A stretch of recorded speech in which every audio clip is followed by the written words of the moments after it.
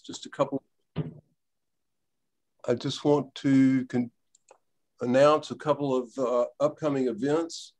On Monday, July the 12th at 6 p.m., Ace Atkins uh, will, will be with us with uh, his new Quinn Colson novel, The Heathens. And he's going to be in conversation with Jack Pendarvis at the Old Armory Pavilion here in Oxford. Bring your chair, your picnic basket, etc. Tate Moore is going to play a little music, and that should be a fun event. On Thursday, July 15, Elizabeth Gonzalez James will be discussing her debut paperback novel, Mona at Sea, with Galadriel Allman, uh, who some of you may recall from her 2014 book about her father, Duane Allman. Uh, in the last two weeks of July, we'll host six events, six more events, and you can find out more about those at squarebooks.com. Uh, so thanks for uh, joining us for another Crossroads event, um, the book discussion program that we initiated after the George Floyd uh, murder. I'm very excited about today's event uh, for a book that's uh, so very well suited uh, with this effort. when the stars begin to fall, overcoming racism and renewing the promise of America. The author is our featured guest today, Theodore R. Johnson. He goes by Ted Johnson. Uh, Mr. Johnson is a senior fellow at the Brennan Center for Justice at the New York University School of Law, a commander in the US Navy. He was a White House fellow in the first Obama administration and speechwriter to the chairman of the Joint Chiefs of Staff. staff.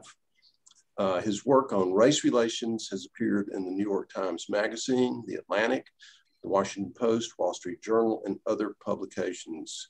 Uh, Ted, we're uh, so very happy to have you quote here today. I hope uh, sometime sometime in the future you can find your way to Mississippi and Square Books. I owe you dinner. Sounds good to me. I quickly want to acknowledge the book's publisher, Atlantic Monthly Press, and the editor there, George Gibson, uh, who first mentioned this book uh, to me very excitedly and sent it to me, uh, suggesting this event, which I immediately agreed was a keen idea. And the first person I thought of who might uh, be a good host uh, is an old friend, the former governor of Mississippi and Secretary of the Navy during the Obama administration, Ray Mabus, a person who has always endeavored to blaze the path for the better, more color conscious society that Ted Johnson sets forward here in this book. Uh, Ray, thank you so much for being here today.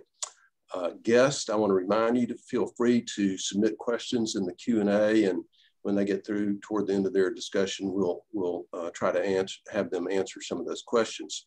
Square Books is so very honored to be able to help promote this book with these two fine men, and I look forward to your discussion.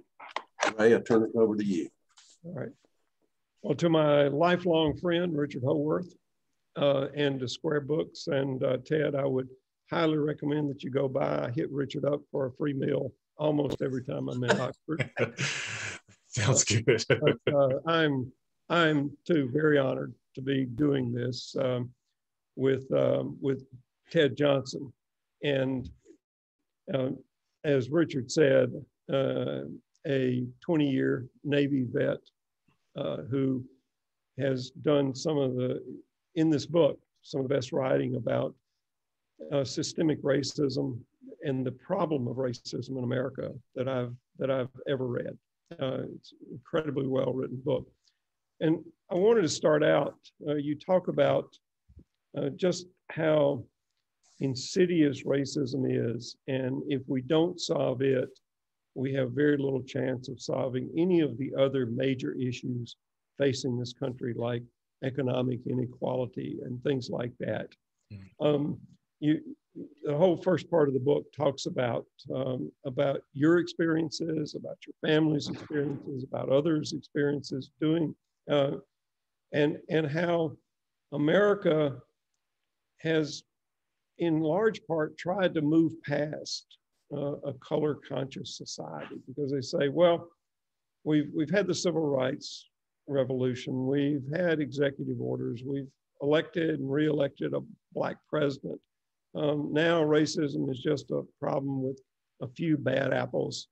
Um, and, and you, in, in great detail, explain why that's not the case and why we will never live up to America's promise unless we do that. Um, and then at the end of the book, you offer a solution um, in a very comprehensive solution to regaining America's promise.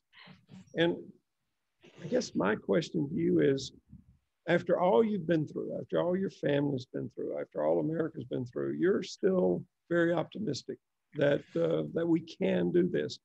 And I'm just not sure I'm that optimistic. And I just um, wanted to mm-hmm. wanted to get your take on on why and how you think uh, this optimism is is warranted. Yeah, so uh, thank you um, to, to Square Books for having me, and thank you, Sec- Secretary Mabus, for, for moderating this and for the question. And it's one that I have been fielding a, a bit over the last several weeks. And um, it's, you know, it's, it's not an easy answer. I, I am very optimistic that the nation has a path out of the turmoil of today, uh, that we have a path out of uh, a place in, in, which racism distorts what the promise of America is and, and could be. What, what, I'm not sure of is if we're up to the moment, if we're up to the challenge. Um, what's clear is that racism is a threat to the nation, has been since its inception. Uh, one distinction I want to call out up front is that when I say racism is a, an existential threat to America, I'm talking about the American idea.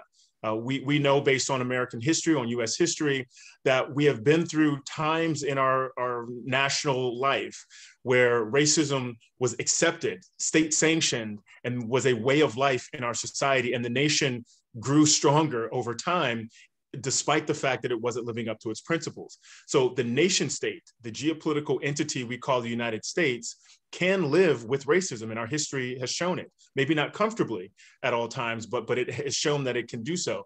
But the idea of America, the idea that we are all created equal, the idea that we have unalienable rights to life, liberty, and the pursuit of happiness, the ideas that are encapsulated in our Bill of Rights and all the other amendments, uh, especially the post Civil War ones, none of those things can coexist with the idea of racial inequality.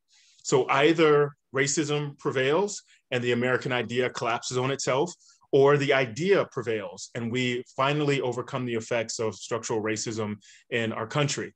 Um, the optimism I have, uh, despite all evidence to the contrary, is really grounded in my upbringing in the, the Black church. I was raised in North Carolina. My mother was from Southwest Georgia, my father from South Carolina. And they come from a tradition where um, you keep the faith even when everything you're looking at in your daily existence tells you to give up hope or that there is nothing ahead for you that would suggest you will ever touch the the the uh, the liberty and the freedom that the nation promises. The, even the title of this book, "When the Stars Begin to Fall," it comes from an, an old Negro spiritual that is uh, ostensibly about the day that all the believers are sent to heaven. Um, and, in actuality, what those enslaved Black folks were singing about was emancipation, the, the desire for freedom and liberty, things they could not sing openly about while enslaved on plantations. So they cloaked their desire for emancipation and liberty in Christian theology as a way of singing their heart's desire in a way that was permissible.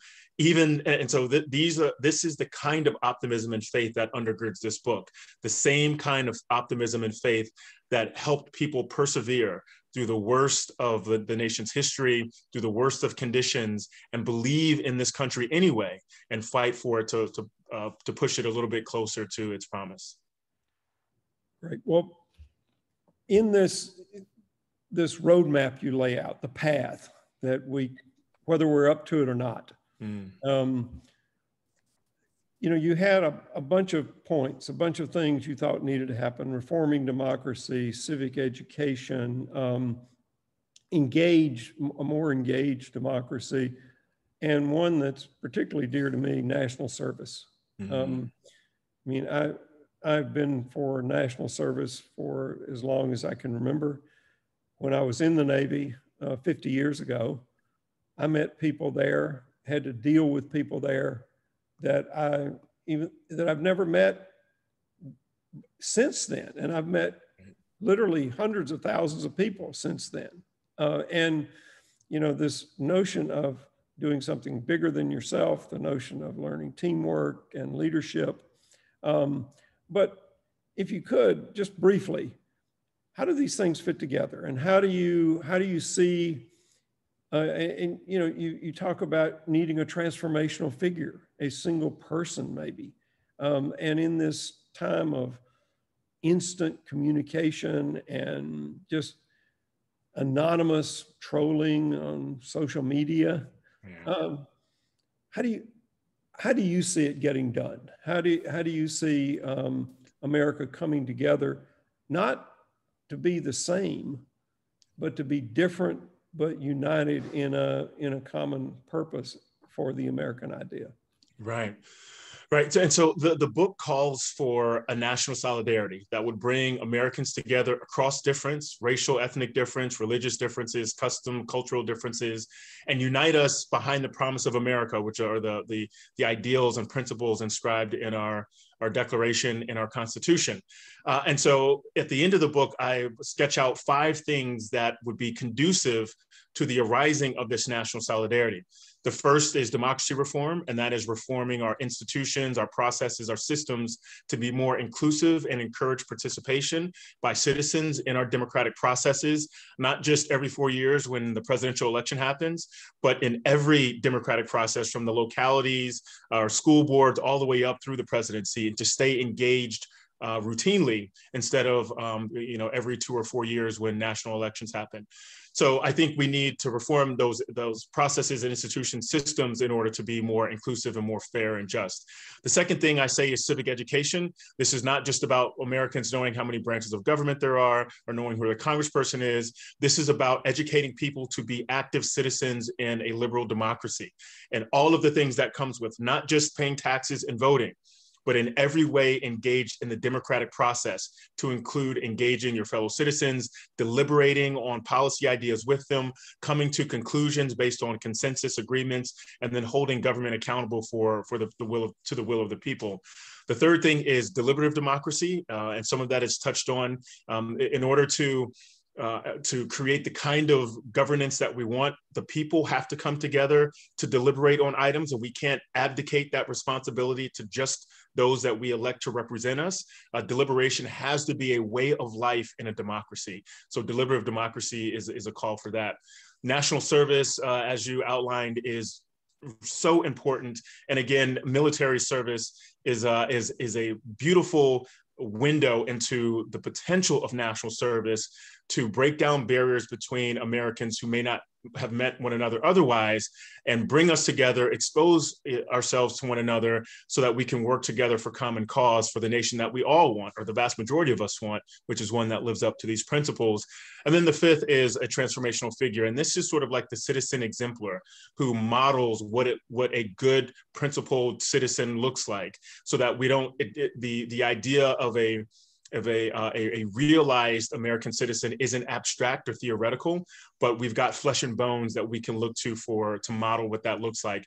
And I think every generation has those folks. Sometimes we recognize them in the moment, sometimes afterwards. But uh, look, all of these five things are really structured to do one thing. And that one thing is to create civic friendships among democratic strangers. We are a nation of 330 million people. We will never get to know one another intimately. Um, our social circles, we have self segregated ourselves. So uh, something like three in four Americans don't have a single person of another race in their immediate social circle, whether in real life or on social media. So we don't know one another. And when we don't know one another, it becomes easy for those who would look to exploit racial tensions for political expedience to caricature other groups and say they you know they're trying to destroy the country they're trying to replace you they're trying to disrupt the culture. And though if we don't know one another we can't be resilient to those appeals as we would be otherwise. This is something the, the beauty of the military as you mentioned is that i worked alongside people from Iowa I would never meet, from California, from Washington State, from Puerto Rico, folks, different races, of religions, ethnicities, but we were all working together in service of the country. And that is the beauty of America. And so all of these programs are meant to expose us to one another and these large, um, uh, deliberative, pro-democracy, service-oriented convenings so that we uh, will be more resilient to the appeals that others uh, are making to divide us. And only through exposure and experience other folks will be able to do that. Okay. Um, we've been talking a little bit about the military. You've got a long military background. I had the privilege of being the Secretary of the Navy and the Marines, as they point out, um, right. for, for, for eight years. Um, the military's been in the press lately, uh, uh, particularly General Milley, the chairman of the Joint Chiefs, who got attacked in congressional testimony because um, our military academies are teaching um, critical race theory. Um, the his his commander's book list um, included books um, about racism in America, and um, I mean, to me, one of the one of the very surest ways to know that systemic racism exists and that it is has not dissipated, it has not disappeared in any meaningful way, is that a bunch of people don't want folks to learn about it. Right. Um, and that, uh, you know, and that they're going to huge lengths. I mean, people didn't know they had a problem with something called critical race theory. Uh, and to me, it's one of these um, look over here. Right. Don't look over there. Um, don't look over the fact that we can't govern. Don't look over the fact that we're not solving any problems. Look at this made up issue uh, right. that, um, but we don't want you to learn about the, the history of America. We don't want you to learn about what so many of our citizens have gone through and are still going through. We don't want you to learn about anything like this. And I thought that General Milley gave a pretty good answer. Um, but you've served for 20 years in the military. The military has been held up as as a as an organization that has got, done pretty well on on race, but in truth, there's still a long, long way to go in the military. And uh, you know, we keep hearing, and, and I'll get to the question. We keep hearing that um, if you do this sort of thing, it will disrupt unit cohesion. Right. If you do this sort of thing, it will hurt morale. Well, this is the same, just absolutely BS reasons that people gave for not integrating the military in the 40s, for um, not repealing Don't Ask, Don't Tell, uh, for keeping women out of all jobs. Uh, and every time it has just been totally, absolutely, completely wrong. And they know it is. Um, but talk a little bit about your experience in the military and how you see the military is both something that can operate as, a, as an example, but also a military that, that still needs to, to make a lot of strides in this area. Mm-hmm. Yeah, it's um, it's it's such a great question, and um, so many directions I could go um, with it. I, I think you're just sort of talking about General Milley. I agree with you that his answer was good. Uh, he is the chairman of a force that is one third people of color. Um, Black Americans are overrepresented in, in the armed services, and so it is good. It is good commanding for a, the general um, responsible for these these service members to want to understand the lives that those service members have both inside the military and then uh, when they go home or the lives that their families have and general milley said you know what is so wrong with trying to understand um, racism in america. What, what's so bad about that? There was a uh, I can't remember the philosopher's name or the strategist's name. Maybe it was sir francis bacon who said that um, the country that will insist on drawing a broad line of demarcation between its thinking man and its fighting man will find its thinking done by cowards and its fighting done by fools.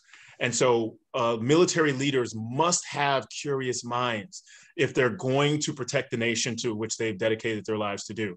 Uh, just as you mentioned, when Truman decided to desegregate the federal workforce in 48 and the military in 1948, uh, a lot of people outside of the military and in the military felt that this was a social experiment. The military was no, no place for it, that it would be disruptive to society and to our war fight, fighting mission. And it wasn't.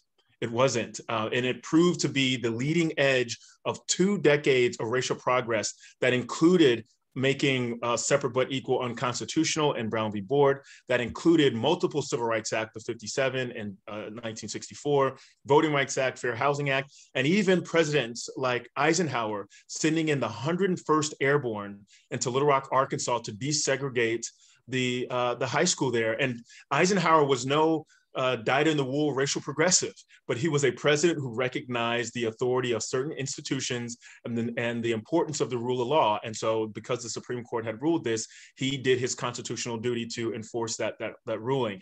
That's the kind of principled leadership that we need uh, in order to get ourselves to, to move forward from where we are today. I will say, my 20 years and nine months or so in the military, it is the place where I realized opportunities I don't think I would have touched elsewhere in, in the country. It has uh, presented benefits in terms of medical, uh, school, housing benefits that have allowed me to get ahead in ways that would not have been possible if I hadn't joined the military. Um, for me, coming out of college and going to officer candidate school, it was a rite of passage into manhood. Uh, I felt like my parents had done lots to get me off to a good start. The military was a where they couldn't help me become a man. They couldn't help me serve the country. This was something I had to do from my own gut, from my own heart. And I became a man in the military. And yet, uh, I've in the military with the same brothers and sisters that I have fought alongside and served alongside, deployed alongside. I've also experienced, uh, you know, being accused of being an affirmative action handout when I was promoted early to lieutenant commander, or uh, selected to the White House Fellowship, and you know, the my the the commander beside me said, you know, how much of this is because you're black and we have a black president. So the military is a cross section of society. What we find in our society, we will find remnants of that in the military. But it's uh, the, the superordinate mission the military has. It's highly regulated and norm uh, and, and normative culture that uh, uh believes people's um, their hard work should be rewarded uh, in terms of promotions and job responsibility. That creates a an environment where you can thrive in ways there that uh, aren't necessarily as open to you outside of the military. So there are pros and cons there. There are, are, good good parts and bad parts, but on the whole, there is a lot that the military, uh, that the nation could learn from the military in terms of service, as well as as multiracial sort of egalitarian um, culture. But there is a lot that the military, as an institution, can learn from our society in terms of sort of surrendering some of the traditional ways of doing business and, uh, and sort of uh, advancing with the times. Well, last question before I know Richard is going to come back in with uh, questions from, from the audience, but mm-hmm. um, you're speaking to a bookstore located in Oxford, Mississippi, where Ole Miss is. 101st Airborne was also sent into Oxford, mm. Mississippi in 1962 when James Meredith integrated um, integrated Ole Miss, and there was a riot. Uh, two people were killed, uh, and you know Mississippi has this incredibly awful record on civil rights. Uh, everything from the assassination of Medgar Evers to the murder of the three civil rights workers to being in the forefront of Jim Crow laws and um, and and even now, you know, trying to suppress voting and um, making healthcare unequal and education unavailable and uh, and resegregated and, and unequal. Um, when I ran for governor in 1987, which is hard for me to believe it's been that long ago, um, but I really believed that Mississippi could lead the country in racial reconciliation mm. because we were too small to be geographically segregated.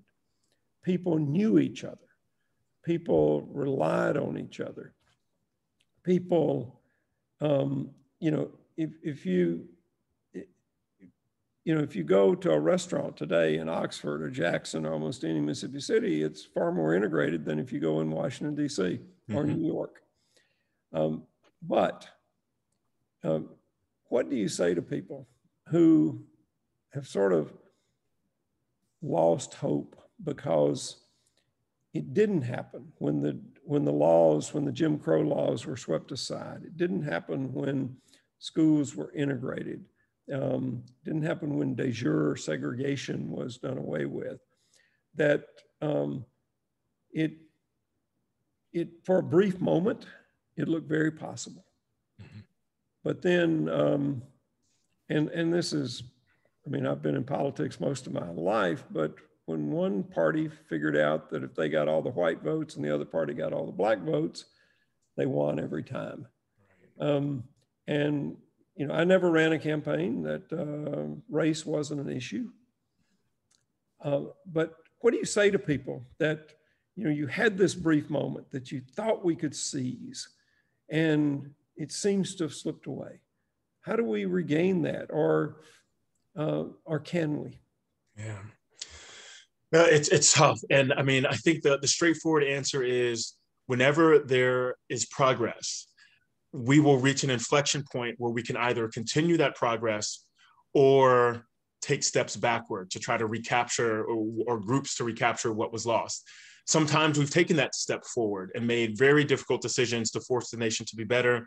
Many times we've taken, taken the step backwards and, and, and have now we have to retrod ground that we thought we had already figured out uh, because of that backsliding. Um, uh, look, when uh, President Johnson addressed the joint session of Congress before the Voting Rights Act was signed, he said, There is no Negro problem in America. There's no Southern problem in America. There is an American problem.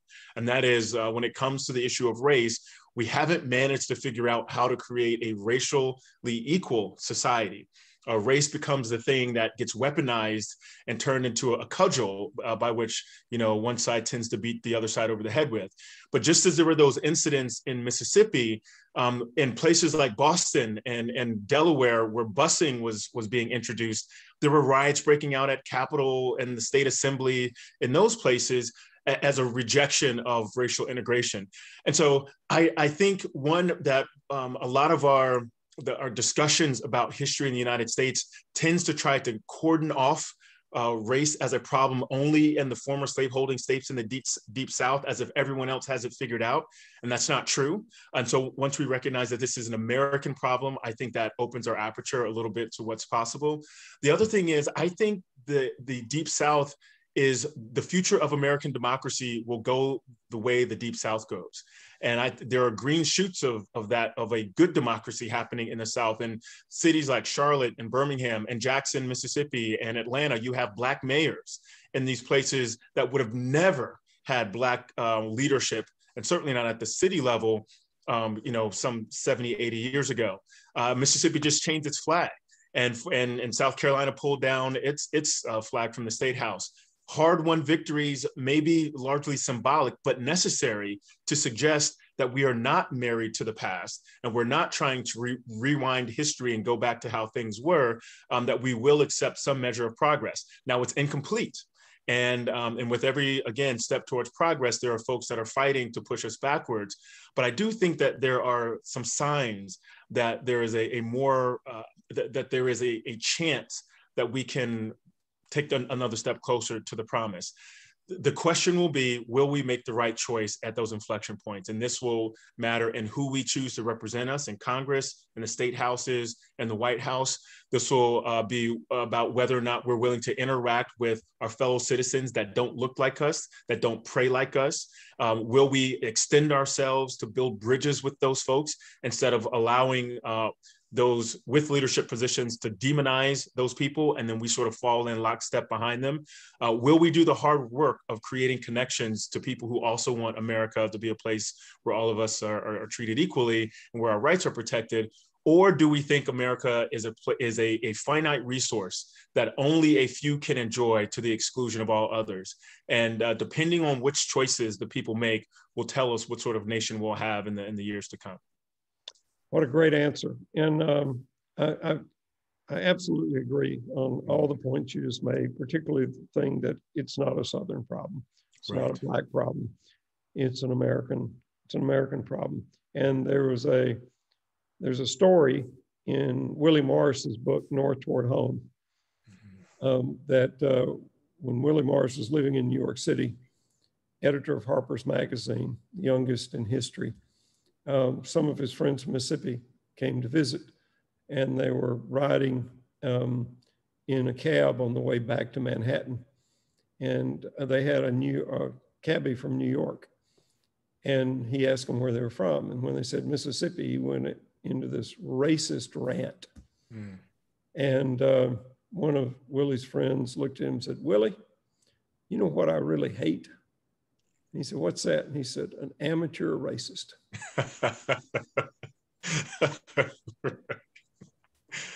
uh, that's that's good. yeah, it's it is. Um, uh, you know, I grew up in North Carolina again, and my parents grew up in South Carolina, Georgia, and even in when racial inequality was present, there was a way of life in, in the South that was is just very different from the, the ways of life in other places in the country. And the racism that exists is expressed in different ways. Um, a lot of that interpersonal racism I don't touch on too much in the book uh, because it does have these sort of cultural and regional distinctions, but also because that's not the kind that public policy can combat outright. Um, and the kind of racism when it comes to voting laws or hiring or housing or schools uh, that kind of racism, we actually find more segregated schools in the Northeast than we find in the South.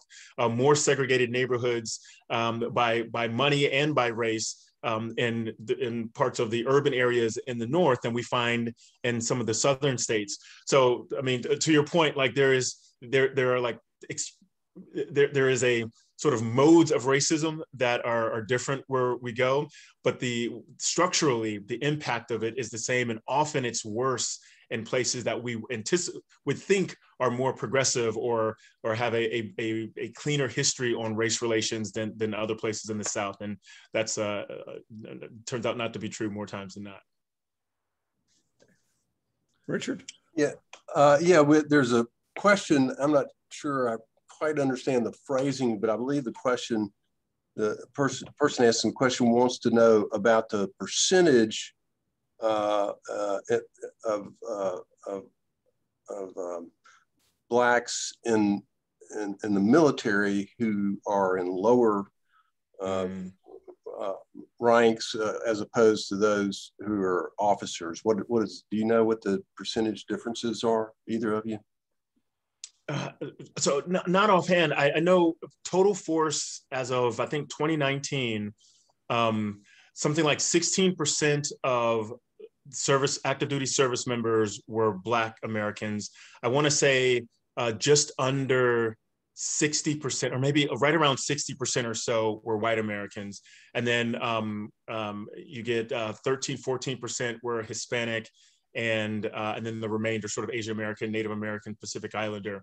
Um, so Black Americans are 13% of the country, but 16% of the armed forces would suggest that we're, we're overrepresented in those. But but the truth is that when you break that down between officer and enlisted, that most people of color, uh, there are numbers in the service overall are heavily weighted in the enlisted ranks. Uh, I want to say three and four officers in the military are white Americans and only one in four are people of color. And I think on Black Americans, it's less than 10%. So there's an, a, a real overrepresentation of Black Americans in enlisted ranks and an underrepresentation of white Americans in enlisted ranks.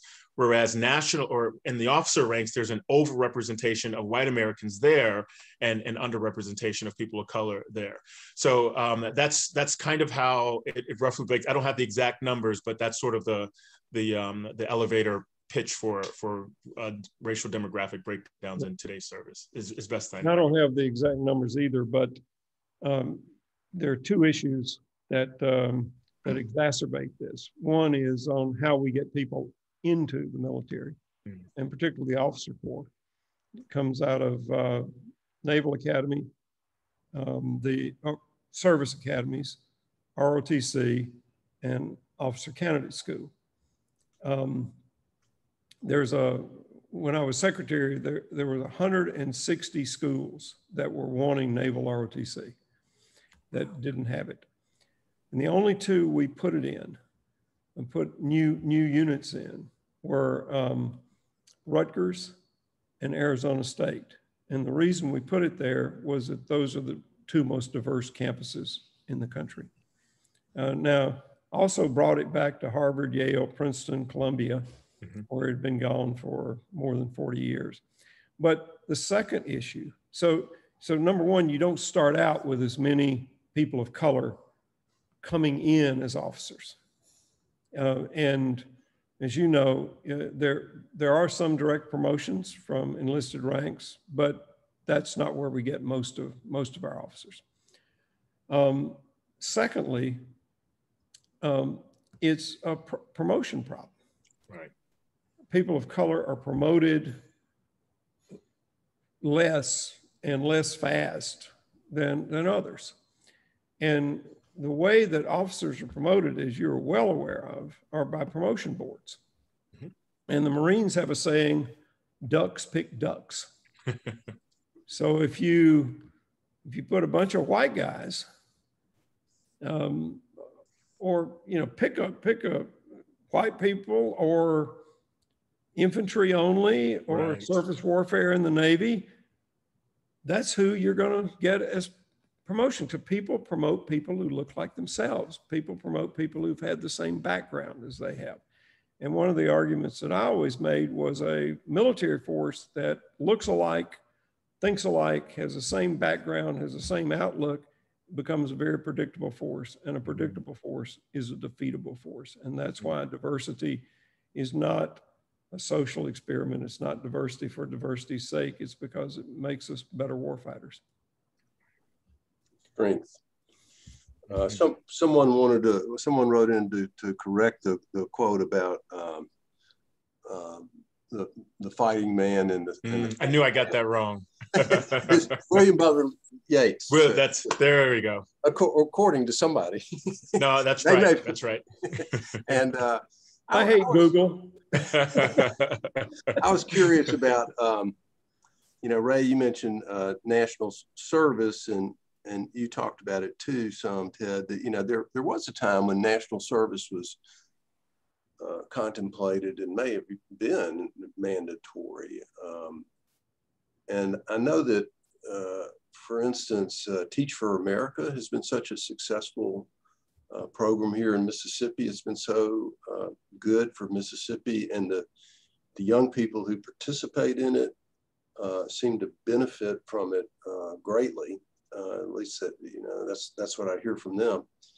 Um, what what is your what, what do y'all think about you know national service and and how, it what is your uh, vision of a national service that both gets gets at uh, racism but also uh, serves the country and its citizens well. um, if i can start um, yes, sir. Absolutely. I've thought for a long, long time that national service would be one of the best things that would happen to this country, but also one of the best things that would happen to the young people of this country. Um, Ted in his book said there were three possible ways that you could get national service. One was um, if you offered incentives and disincentives, um, so it's purely voluntary. One is if you made it a part of the existing draft structure. And third is if you did universal national service. Um, he said, and, I, and I'm afraid correctly, that the last two just won't, won't happen. But I do think that if you had universal national service, because I, uh, and, I, and I think it's important to distinguish national service from military service. We're not talking about everybody going into the military, but uh, Richard, you and I came of age during Vietnam. And, you know, it was an incredibly unfair war. If you didn't want to go, you didn't go. If you were white, if you Mm. were connected, if you were well to do, or your parents were well to do. And it was seen as so unfair. It was seen as, you know, not it, one of the reasons that the war never had the support uh, across the country was it was so the the way we um, got people into the military was so unfair.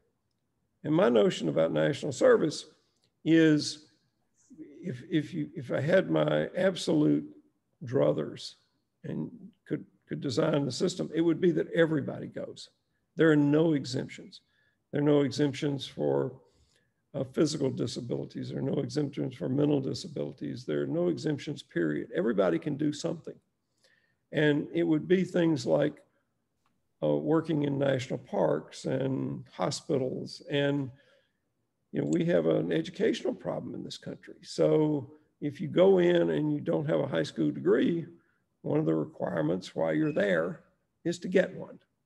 Uh, and you could use some, some of the other people in national service to do the teaching um, to, to get there. Uh, I'm, not, I'm pretty sure that's not realistic, but I do think that number one, it would help the country. But number two, I think it would help the people that went through it uh, even, even more. And I think it would get us a long way toward what Ted has been talking about, about national unity and a common purpose, even though we look different and even though we have different beliefs and different ideas and we don't agree all the time about where the country should go, we at least uh, uh, are, are civil to one another and, um, and, and debate these things rationally and not violently. Yeah, and, and I agree. I think one of the biggest, whatever it looks like, we have to ensure that when people serve, they're not just serving in the communities where they grew up. Um, they have to get out of their comfort zone and go and work in places that are unfamiliar to them around Americans they wouldn't otherwise meet. Uh, Teach for America does this. They take kids that go to great schools and put them in, in school systems in Appalachia or in inner cities or in different parts of the country where, where the students are under resourced or, or, or needing you know, the, the, the talent that these schools produce as a way of not just exposing students to new teachers, but, but exposing those new teachers to different Americans, to different students. So it's the cross pollination uh, that I think makes national service powerful, not just the service oriented activity, whether it's community based or national service in the military or, or, or government or, or, something like that, but the fact that you're doing that service with folks that you wouldn't otherwise, otherwise come across is, is important. Um, and I think you're, you're right, Mr. Secretary, about it needs to be universal in the sense that um, people shouldn't be able to buy their way out of this. If national service becomes something that those people who don't have means do in order to pay for college, then all of a sudden it's what the poor kids do to pay for college and the rich kids don't have to do service because they don't need to, to go that route. And that doesn't achieve the aims of national service. It needs to be spread across class, race, ethnicity, region, uh, all these differences in our society in order for it to have its, its greatest effect. You know, we've got a great opportunity to do something like this because in five years, we'll be celebrating our 250th national birthday, our, our anniversary. Uh, and what better time than then to begin thinking about how to institute a program of national service so that we can um, honor the nation's 250th birthday by recommitting ourselves to creating the nation of our of its promise and uh, and building leaving something for the next generation that was better than what the, the nation we inherited uh, I guess I'll, I'll take another qu question here. If um, the, the, the country has become so divided uh, politically, and uh, uh, it's it's I mean I don't I think we would all agree that we've never seen in our lives any anything like what we have now in terms of the the rancor and uh, the inability it's, it's it seems for uh, uh, different sides to get along or get anything done or agree on anything. And um, and and I don't know exactly how to ask the question, but to what extent can how do you how would you couch race as an issue in that in that particular schism? Uh, um, and, and and and and where's the rub and, and where, where do you think that fits in there and how are we gonna how can um, how can that be solved? How can that problem be solved? Yeah, one of the biggest issues, as I see it, is, is, actually one that the nation has wrestled with from the beginning, and is that uh, there, there is a political reward often awaiting those who will seek to divide the people over issues of race. Um, when the nation was founded, the, the framers of the Constitution, the, the revolutionary generation, and then uh, you know a decade later, when the, the um, Constitutional Convention happens, they had debates about whether or not slavery would be would persist in this new nation, and they decided to allow it to stick around in order to to create the union. And so it was a political decision to hang on to the institution of slavery uh, in in favor of keeping the union. It's a political decision to end the slave trade. It's a political decision to um, you know, uh, embark on the Civil War once some once the other states made political decisions to secede, political decisions for the 13th, 14th, and 15th Amendments to bring formerly enslaved Black people into the realm of citizenship and voting, and so all along the way up to today, where we have politicians making specific race-based appeals, and frankly, on both sides of the aisle, but certainly um, on a kind of white identity politics that is becoming more prevalent explicitly in our politics. All of this is being fueled by uh, by leaders who are leading with the race issue on every uh, more than anything else. Before they talk about climate, taxes, housing, education, it's all about um, either uh, government using taxpayer money inefficiently and helping people who haven't earned their spot in America before helping those who have who have, have done their due diligence to be good citizens or those who have, have, have not done enough to uh, help those groups who have been left behind for centuries in the nation's public policy to catch up so that they can play on a, a level playing field. And the, instead of bickering or debating on the principle of issues around schooling or fair housing or, or tax structure or whatever, they're debating about who gets help by public policy. Is it going to be white Americans or is it going to be those people of color? And now that devolves everything into a debate about race, such that politicians seeking office often lean on the race issue as a way of, uh, of sort of consolidating their base uh, uh, shoring up their portion of the electorate in hopes that those more of their folks will show up to, to help them win office than, than those who would vote against them. And so to, to the way to work ourselves out of this race thing requires this principled leadership, this transformative leadership that I talked about. But more than that, it requires Americans to recognize all of us are being under delivered, the, the promise is being undelivered to all of us when we allow these appeals to racial division to succeed, when we elect people into office who stay there uh, and get reelected by playing into racial division instead of electing people who want to unify Americans and, and do um, and, and sort of serve us principle, you know, with, with principle, um, we are partly responsible for the government we have. And so it's not just about better leadership, but it's also about uh, the people holding bad leaders accountable and recognizing that the um, exploiting racism for political power, for economic power is un-American and actually destroys the nation for all of us um, under the false promise of allowing some of us to prosper at the expense of others. I, I cannot improve on that answer and except to, to add one quote, and I don't know who said this. Uh, so if anybody's listening and can look it up, but um, somebody once said that the only way to keep a, a person down in a ditch is get down in the ditch with them, mm. uh, which is exactly what you were saying, that everybody um, is ill served mm. when um, when we divide by by any sort of immutable characteristics like race, and that um, you know this this and it's fear. It's it's fear by right. white Americans that they may lose their privileged place that they've occupied for so long, sometimes uh, without even realizing all the privileges that attach just because of skin color. Uh, but um, I, I do think the one answer is to hold people accountable and to and to make that sort of appeal uh, a losing political argument. Right, right. Well, uh, that's uh, that's both of you is terrific answer to a question that I wasn't really quite sure how to ask. but uh, I, I, think in closing, uh, Ted, I just want to thank you for this book.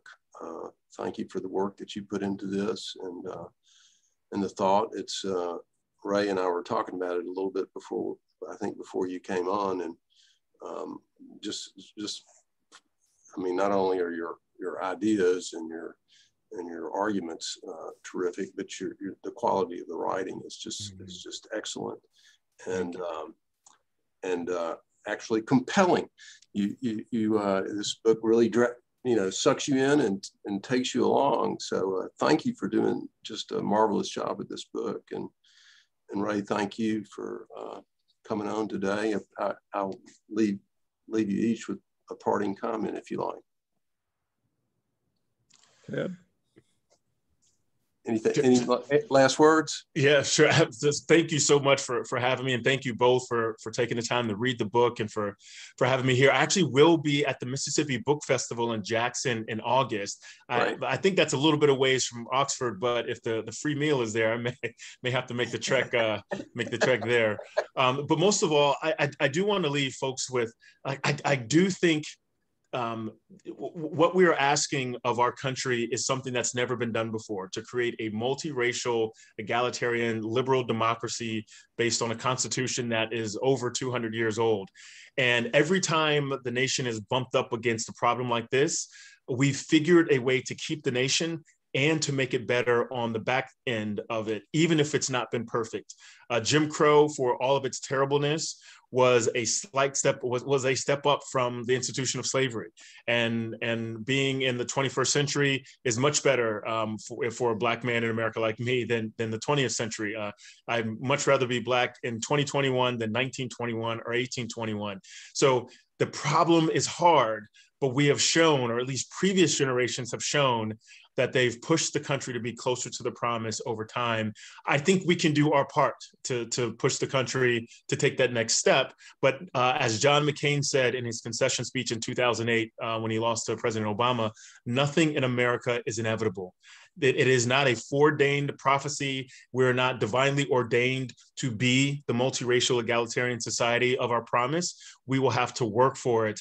And, uh, and if we don't do that work, then we will uh, miss a, a golden opportunity to, to, create something new for mankind. So here's to hoping that uh, that we meet the challenge ahead and that we can stir up the courage to to take on um, the past and the present to leave something better for posterity. And I'm just very honored to be here, particularly with uh, Commander Theodore R. Johnson. and um, um, it, I, I appreciate the book, and as Richard was saying, incredibly well written. A lot of thought went into it, um, but uh, also the the notion of hope.